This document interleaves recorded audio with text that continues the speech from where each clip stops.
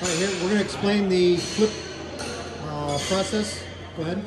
Okay, so at Team World, we don't know who's going to play who because we let the teams decide their opponents, and we do that through a coin toss, where uh, the captains show up for a coin toss at the officials table and uh, pair up against their opponent standing across the mat so they know one side of the mat is heads, the other side of the mat's tails. They face each other, we throw the coin, and uh, heads or tails, that side of the mat wins the toss. To win the toss, you get the opportunity to decide who pitches who in this round between your team and your opponent.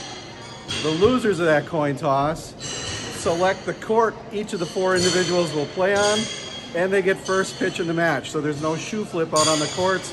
The coin toss takes care of that. So that's how we decide who plays each round here at Team World. Awesome. Thank you.